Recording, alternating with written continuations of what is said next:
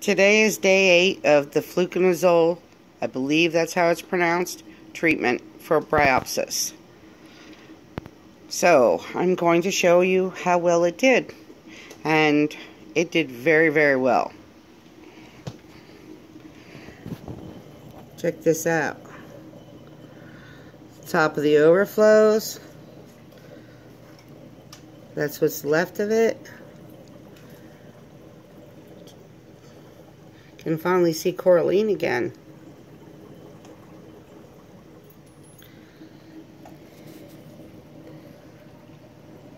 It is almost completely gone. There's some up underneath here. There's a few locations. Some of the heavier locations still show white dead algae. It just hasn't been swallowed up yet. I only have a few items that are loving on it, that's for sure. Now, because of my overzealous self with the KNO3 and uh, trying to get some nitrates in here, I overdid it and the undata over there is suffering a little bit. As is this acro.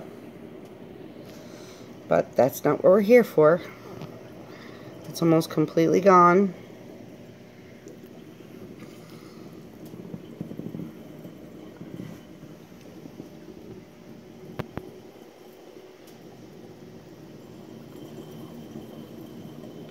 There's one little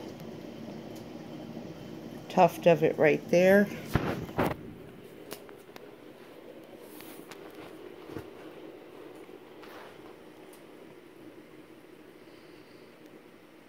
Tiny little bit left here.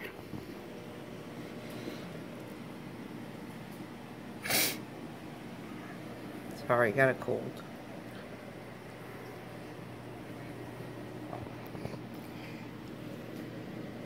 This was the worst location in my tank. Of course, we have to have photobomber too.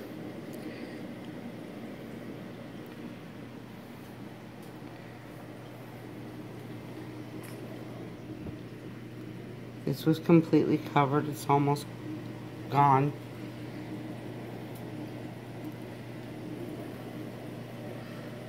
It works very well. Nothing is adversely affected by it. This is my second worst location. Actually, it might be it might have been worse than the other spot.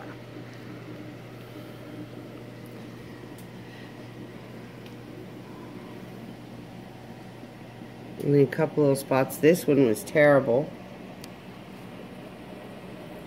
What is here is white.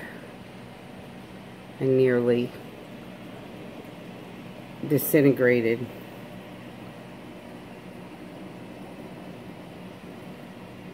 Oh, I broke this guy today.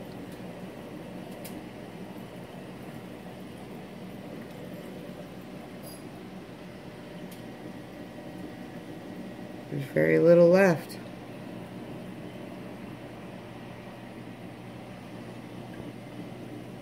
I would say we have some sort of a miracle here.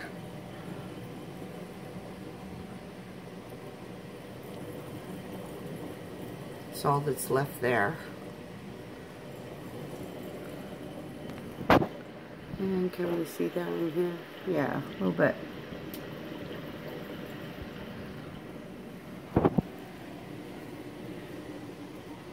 I would say that this treatment is a win.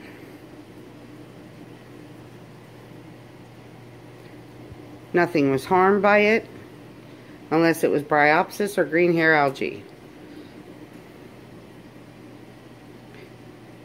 Didn't even harm sponges. And for those of you that want proof, there is one right there.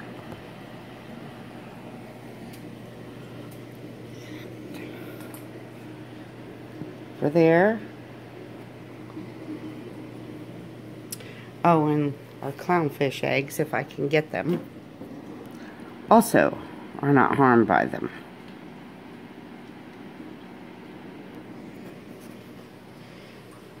That's it. I'm pretty confident by the time the full 14 days comes about, there will be nothing left.